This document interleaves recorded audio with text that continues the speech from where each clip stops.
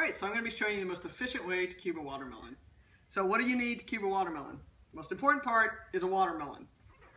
The rest of the things you need, you need a knife, nice big knife, not a tiny knife, can't cut a watermelon with a tiny knife. You need a big knife.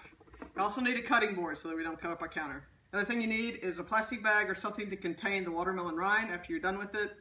So I like to use a plastic bag, it makes it easy to get out of the kitchen. Alright, so here we go. Take your giant knife, I've already obviously cut the watermelon into quarters. Makes it a lot easier to deal with. So the first thing we're going to do is we're going to cut horizontal cuts all the way through the watermelon. Go as deep as you can. Don't cut your thumb off though. We like our thumb.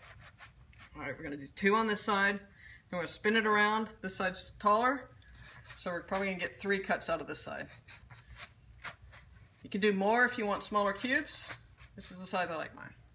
Alright, now spin it around and we're going to cut cut across all the way through. You want to get all the way down to the rind. So I'm actually like curving the knife through so we get all the way through so we don't lose any yummy watermelon. Still making sure we don't cut off our hand. All right, and then we want to get the edges because we don't want to lose any of the edges. So we're going to run the knife just all the way through as deep as you can, all the way around the edges. Going back up, spin it around, do this side, Those pieces are for the chef. Get a nice big container that can, will fit all of this in. And you just take it tip it up. Whole thing just slides up. That's how to keep a watermelon.